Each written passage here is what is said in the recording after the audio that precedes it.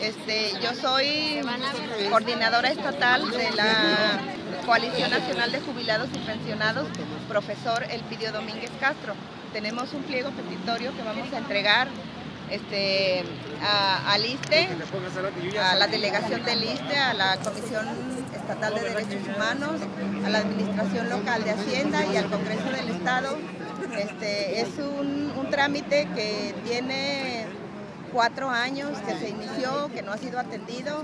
Estamos solicitando este, el pago de un bono sexenal para los jubilados y pensionados porque nos, nos excluyeron al, al jubilarnos. Antes, cuando estábamos en activo, recibíamos ese bono y al jubilarnos lo perdimos. Este, estamos demandando al gobierno federal